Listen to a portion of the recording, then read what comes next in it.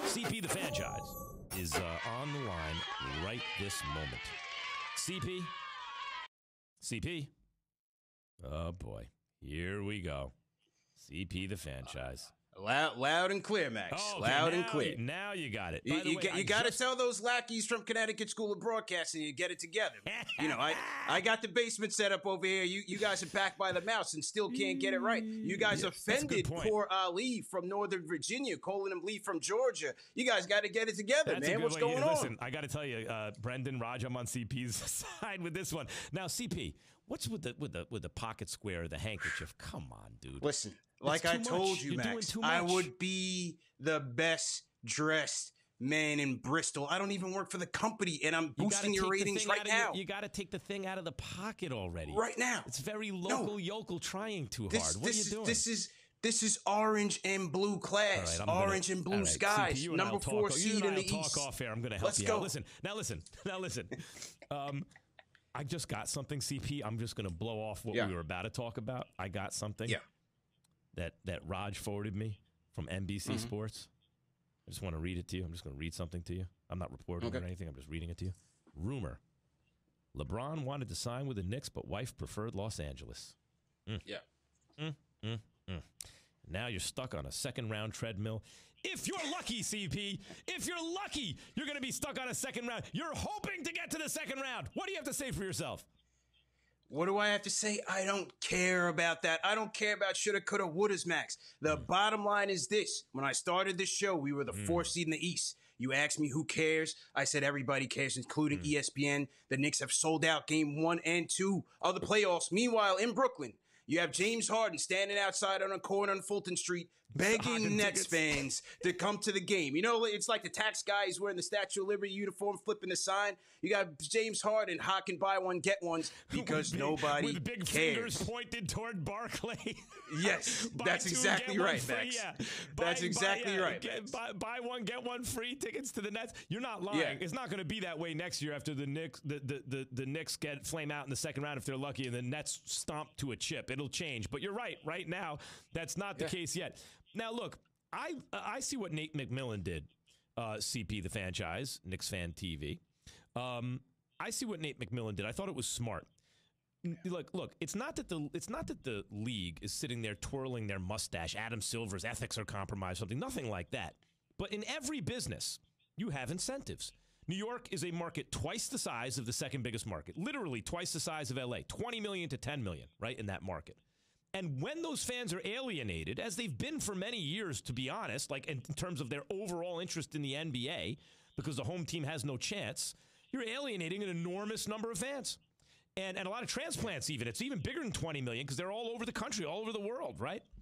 And so it is in the business interest of the nba for the knicks to be good that doesn't mean adam silver tries to make them good or tells the refs to take it easy or anything like that but it's funny the way incentives shape behavior right and so nate mcmillan i thought who doesn't have a contract by the way after this year I, he knows what it is when he opens his mouth. He knows it's going to cost him 25 G's.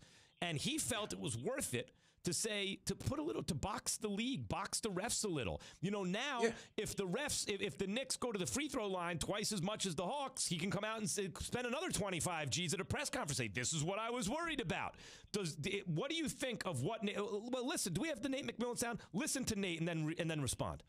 The league wants this. They need this. You know, a New York. You know, this is a big market, and it's a big market uh, for the league. And uh, New York has been out of the playoffs for a number of years. And uh, you know, this is the team that our league. You know, they want to see. You know, there's a huge fan base. They want to see New York in the playoffs. What do you think, CP? Oh, they, they should have played the violin as a background music for him. Sour grapes, Max. Listen, all Nate McMillan is trying to do, he's he's been a savvy NBA veteran, a great NBA coach. He's trying to politic for his point guard and Trae Young so that he gets the benefit of the whistle. Trae Young is leading the league, one of the, at the top of the league in free throw attempts. Hawks at the top of the league in free throw attempts. Trae Young has been flopping around. Nate McMillan knows that the NBA is reviewing how Trae Young has been drawing fouls as they go into the playoffs. We know that the playoffs is a much more physical game. very uh, much demanding. So he's he's trying to appeal and make sure that his guys are getting the calls. I don't think the, the referees are going to be biased towards the Knicks because the, the right. league needs that. Of course, it's but good it's for smart, the league that CP, the Knicks your are analysis is right on the money, but it's smart. Yeah. This is what this is what Phil Jackson used to do. When I used to be a Knicks fan, before yeah. Jim Dolan ran them into the ground and then put his heel on them and smushed them down into the ground as he's having Charles Oakley arrested and fans thrown out of the garden oh, for God. no reason. Before all that, no, when I was a Knicks fan, I remember Phil Jackson would sit up there at the press conference, and don't forget, he had Michael Jordan and Scottie Pippen and Horace Grant, and later on Dennis Rodman, eh, a much better team than the Knicks. And and he would, but the Knicks would give him a tough fight, and he would say things like, "The the the NBA basketball is is a game of beauty and grace. It's not a game." Of, and he would like really set the table in case the Knicks got physical, which was their only shot for the refs to be on high alert for it. And it was smart. Nate McMillan yeah. is smart. This is going to be a tough series, CP.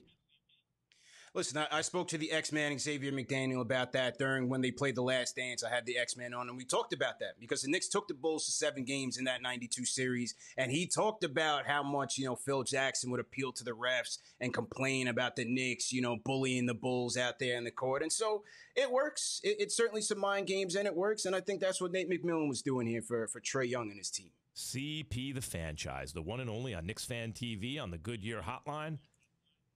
I mean, I'm just gonna just put you up on best dress, best dress man. Put you up on a little game. I'm gonna, I'm, I'm gonna work with you, Max, in the listen, wardrobe listen. game. I'll work with see, you. See, this is what everyone does. It's a mistake everyone makes. You know, everyone gets on me. Oh, Max, you wear the same thing every time, right?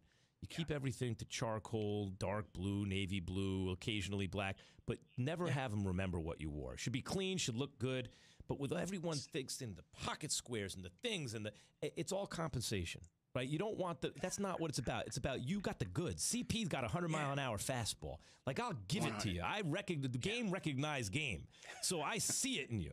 You remind me of me when I was living in my mother's basement. No, I never lived in my mother's basement, but still. me neither and you're you're doing too much with the with the pocket square. Don't do that. That's for Listen, ex. But this, if you used to play ball, is, you can get away with the that. CP, the Fanchise signature look, Max. I see. Signature look. I see. I, I won't charge you get a consultant new, fee because I appreciate the airtime. Get, get some new handwriting. Listen, Commissioner Adam Silver on Keyshawn, yeah. J. Will, and Zubin responding to Nate McMillan.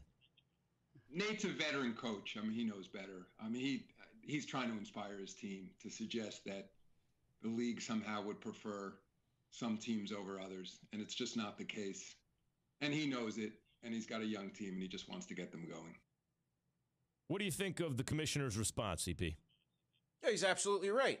Listen, the, the league is benefiting right now. You have both New York teams, you have both LA teams, you have Boston in the playoffs. Overall, I think it's going to elevate the product of the league. But uh, Commissioner Silver is absolutely right. McMillan, he's trying to galvanize his team. He's trying to put the spotlight on the referees. The Hawks are favored in Vegas to win this series. So, you know, they're trying to play the underdog role. I understand that. But at the end of the day, they have to contend with a juggernaut New York Knicks defense led by Julius Randle, RJ Barrett, Derrick Rose. Thibs is going to be ready. Sunday night MSG is going to be rocking. I'll say this: Just there's enormous pressure on the Knicks right now as the higher seed yeah. and the favorite uh, to actually win a playoff series. You know, and by the way, I, I find it pathetic how low the standards are for the Knicks.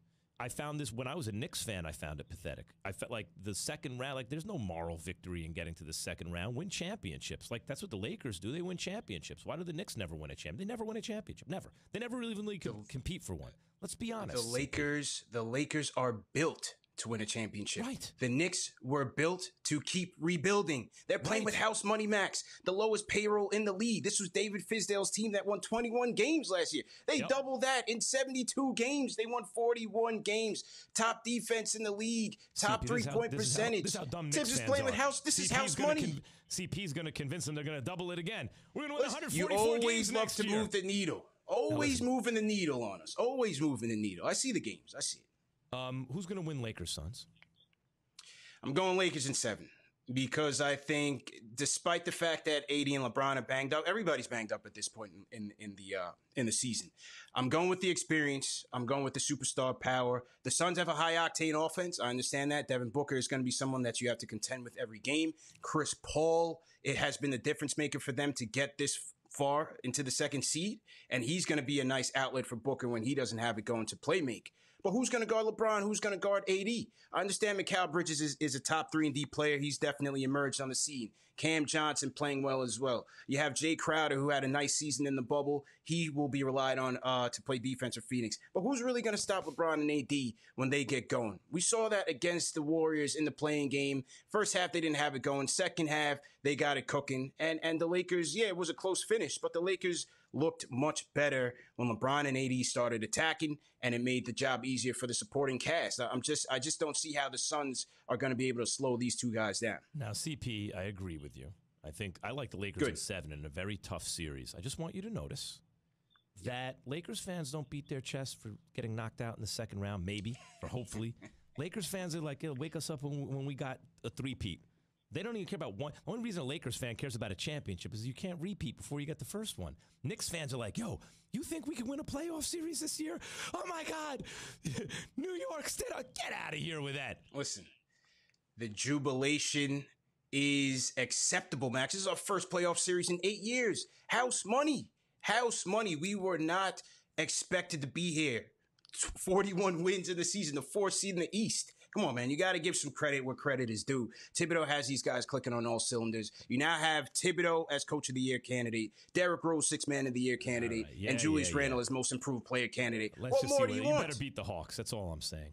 What CP more do you the want? Fanchise, ladies and gentlemen. I don't know, a championship. CP the Fanchise, ladies and gentlemen. Oh, sh- championship? No one's ever won a championship. What are you talking In about? due The time, Max. don't even In due actually time. exist. In due time. Thank you, CP. I'll talk to you next week. CP the Fanchise. Have a good CEO, weekend. Knicks fan TV. Uh, the Max.